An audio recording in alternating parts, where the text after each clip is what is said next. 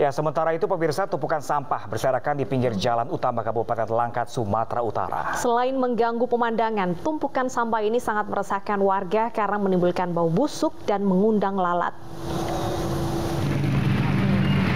Sudah lima hari sampah ini menumpuk di sisi jalan protokol kota Tanjung Purba, Langkat, Sumatera Utara. Sampah bahkan berserakan hingga ke badan jalan dan mengganggu lalu lintas. Kondisi ini sangat meresahkan warga pemirsa karena tumpukan sampah mengeluarkan bau tak sedap dan mengundang lalat yang berpotensi menjadi sumber penyakit. Warga berharap pemerintah segera membereskan masalah sampah ini sehingga wajah kota kembali cantik.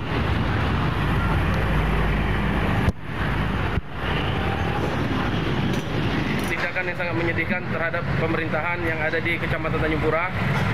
Sampah sudah sampai ke badan jalan, hampir ke tengah, dan masyarakat sudah banyak yang mengeluh. Dan perlu diketahui, ini kita menyambut bulan suci Ramadan, tapi hal ini terjadi, terjadi dan seharusnya.